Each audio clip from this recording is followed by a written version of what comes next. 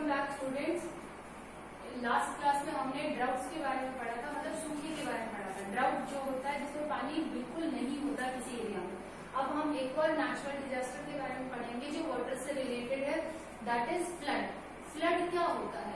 जब किसी एरिया में बहुत ज़ोर से बारिश होती है, ज़्यादा बारिश होती है तो उस केस में हम उसको क्या कहते हैं? फ्लड फ्लड मतलब किसी एरिया में कंटिन्यूसली बहुत ज़्यादा बारिश हुई, उसको हमने फ्लड बोला। अब फ्लड से क्या क्या प्रॉब्लम्स हो सकती हैं?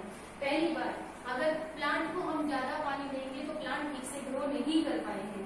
It means damage to crop वहाँ जो क्रॉप उगी रहेगी, उसको डैमेज करेगा। दूसरा, वहाँ जो एनिमल्स रहेंगे, उनके लिए प्रॉब्लम क्रिएट होगी थर्ड वहाँ जो ह्यूमन्स रह रहे हैं उनके लिए भी बहुत सारी प्रॉब्लम्स क्रिएट हो जाएँगी इसके अलावा क्या होगा बिल्डिंग्स के अंदर पानी घुस जाएगा बिल्डिंग्स कोलैप्स हो जाएँगी, ये बिल्डिंग्स को डैमेज करेगा। दूसरा, जो माउंटेन एरिया से अगर वहाँ पर बहुत ज़्यादा फ्लड आते हैं, या बहुत ज़्यादा पानी होता है तो उनके नीचे पानी जाएगा और जो लैंड है वो अपने लेवल से नीचे आने के चांसेस होते हैं। इसको हम लैंडस्लाइड कहते हैं।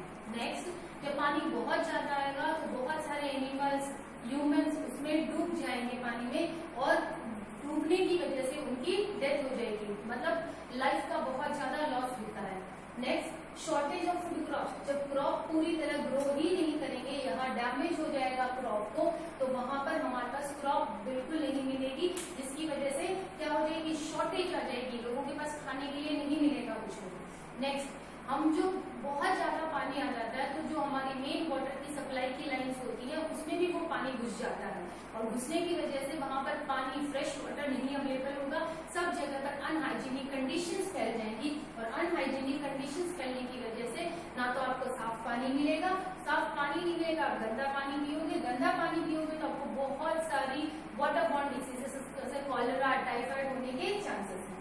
सेफ़ पानी की ड्रिंकिंग की फैसिलिटी नहीं होगी, जिससे आप गंदा पानी पियेंगे, बहुत सारी डिसीज होंगी अनहाइजीनिक कंडीशन होंगी, जिससे आपकी बॉडी में बहुत सारी डिसीजेस आने के चांसेस होते हैं। तो ये सारी प्रॉब्लम्स क्रिएट होती है।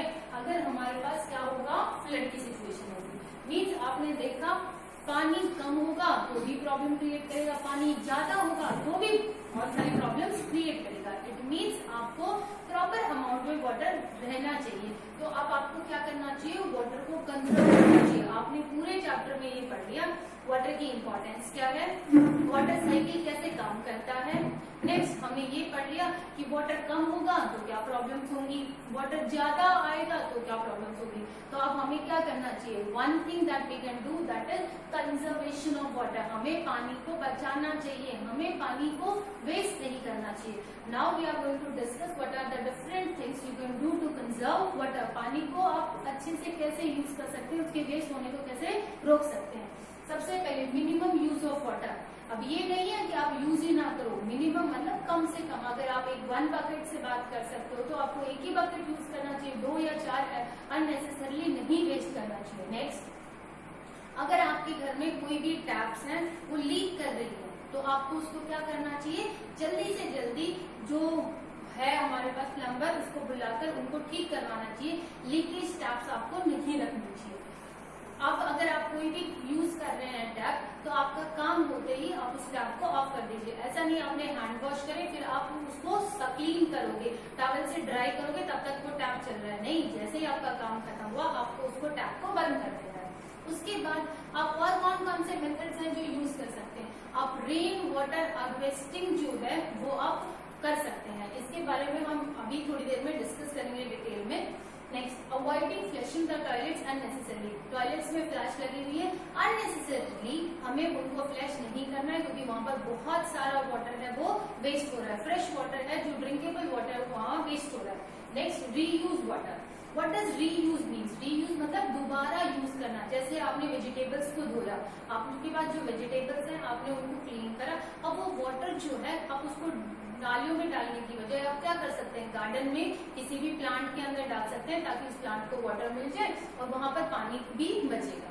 ठीक है? तो ये सारे है हमारे पास स्टेप जिसकी वजह से हम वाटर को कंजर्व कर सकते हैं। इसके अलावा भी बहुत सारे हैं। We have discussed few over ठीक है?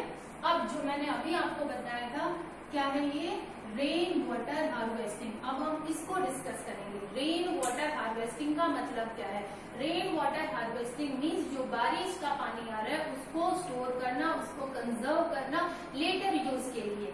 ठीक है? इसमें दो तरीके हैं, हम क्या कर सकते हैं? पहले तो हम पढ़ते हैं रूफ इसमें क्या है? एक तो है roof top rain water harvesting बारिश के पानी को कंजर्व कर रहे हैं तो कौन कौन से मेथड हो सकते हैं? पहला है roof top rain water harvesting मतलब जो हमारे घर है, घरों की छतों को हम बाउंड्री लगा दें, जब बारिश आएगी तो क्या होगा? हमने यहाँ क्या करा हुआ है? ये हमारा घर है, इसकी छत है। यहाँ हमने सारे पानी को जाने के लिए यहाँ एक होल छोड़ा हुआ है। क्या छोड़ा हुआ है? यहाँ पर एक होल छोड़ा हुआ है। और इससे क्या कनेक्ट करिए? एक पाइप कनेक्ट करिए हमने ठीक है? जो भी बारिश आएगी, उसका पानी यहाँ गिरेगा और ये पूरा का पूरा पानी यहाँ से होता हुआ कहा जाएगा? इस पाइप में। और पाइप से होता हुआ नीचे आएगा। अब नीचे आपको क्या करना है? नीचे आपको एक टैंक बनाना है, ठीक है? अब टैंक कैसे बनाना है? टैंक को ऊपर से कवर भी करना है, क्योंकि अगर टैंक कवर नहीं करेंगे तो पानी में हमारे पास मॉस्किटोस होने के चांसेस है। अब आपको देखना है कि आपका एरिया कैसा है। वहाँ पानी की शॉर्टेज है, या प्रॉपर अमाउंट में पानी आपको मिलता है। अगर इस एरिया में पानी की शॉर्टेज है तो आप क्या करेंगे? जो हमने ये टैंक बनाया है, जिससे हमने इस पाइप को कनेक्ट करा, इसको नीचे से सीमेंटेड कर देंगे।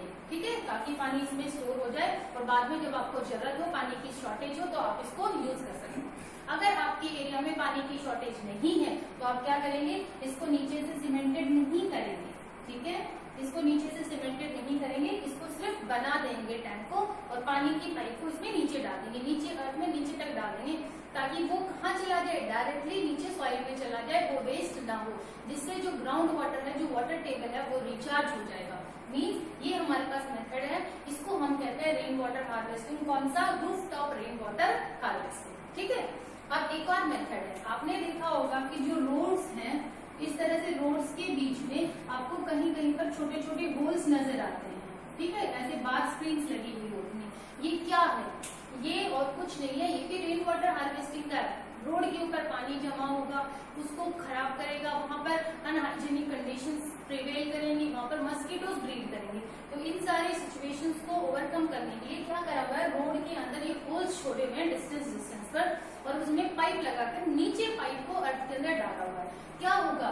जैसे ही बारिश आएगी, बारिश का पानी रोड के ऊपर से कलेक्ट होकर कहाँ जाएगा? इन पाइप में जाएगा और नीचे डायरेक्टली कहाँ चला जाएगा? सॉइल में।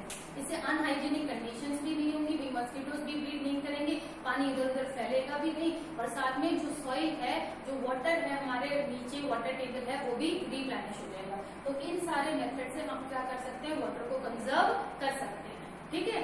इन सारों से हम क्या करेंगे? वाटर तो हमारे पास जहाँ आ रहा है, वही की नहीं चला जाएगा, पानी का वेस्टेज नहीं होगा। तो हमें क्या करना चाहिए? वाटर को कम से कम यूज़ करना चाहिए, जहाँ ज़रूरत है वहाँ यूज़ करना चाहिए। और ये जो न्यू मेथड्स है रेन वाटर हार्वेस्टिंग के, इन्हें हमें क्या करना चाहिए? प्रमोट करना चाहिए। लोगों को बताना चाहिए कि इस तरह से हम वाटर को क्या कर सकते हैं? कंजर्व कर सकते हैं। ठीक है?